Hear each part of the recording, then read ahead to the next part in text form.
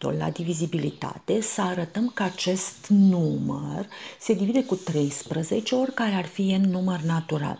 Pentru aceasta vom folosi din nou proprietatea a la m plus n este egal cu a la m ori a la n, pe care am amintit-o anterior, și atunci vom avea 18 la n plus 3 la 2n ori 3 la a doua, ori 2 la n, ori 2 la întâia, plus 3 la 2n, ori 3 la a treia, ori 2 la n, ori 2 la întâia. Atenție la aceste semne, pentru că este mulțire. Din um, experiența anilor trecuți știu că copiii sunt puțin neatenți și vor scrie aici, unii dintre ei scriu adunare, deci mare atenție.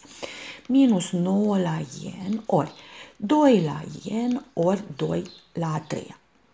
De unde vom obține? 18 la n îl lăsăm neschimbat. Folosim pentru a scrie 3 la 2n, altfel vom folosi proprietatea a la m ori n egal cu a la m, totul la n și atunci vom avea 3 la a doua, totul la n Vom face calculul 3 la a doua 9, ori 2 la n, ori 2. Plus, cu aceeași proprietate pe care am folosit-o aici, scriem 3 la a doua, totul la n, deci 9 la n, ori 3 la 3 e 27, ori 2 la n pe care îl lăsăm așa, ori 2, minus 9 la n, ori 2 la n, ori 8. Am făcut calculul 2 la a 3 care va fi?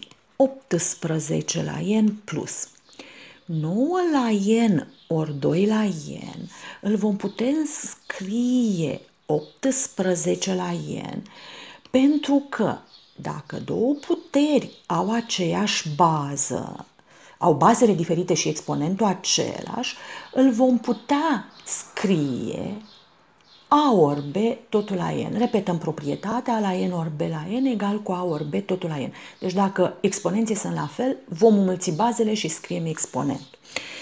Deci, datorită acestei proprietăți, am scris 9 la N ori 2 la N, 18 la N. Ori, 9 ori 2, 18, plus 9 la N ori 2 la N va fi 18 la N, ori 27 ori 2, 54 minus 9 la n ori 2 la n, 18 la n, ori 8. Și atunci vom avea, observăm că 18 la n este factor comun și atunci ne va rămâne 18 la n împărțit la 18 la n, 1. Am ajuns la plus.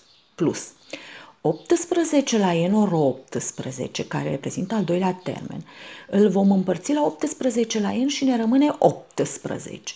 Plus al treilea termen, 18 la n ori 54 împărțit la 18 la n va fi 54 minus 18 la n ori 8 împărțit la 18 la n va fi 8. Și atunci vom avea 18 la n ori 18 minus 8 este 10. 10 și cu 1, 11. 11 și cu 54, 65. Cum? 65 este 13 ori 5, înseamnă că acest produs se divide cu 13, adică exact ceea ce ni se cerea nouă să demonstrăm. Și am terminat.